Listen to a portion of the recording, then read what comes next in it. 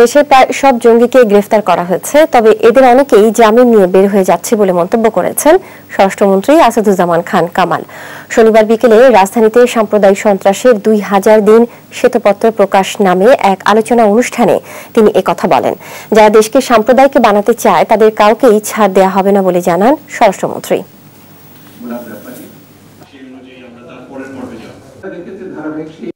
বিচার বিভাগ আজকে স্বাধীন।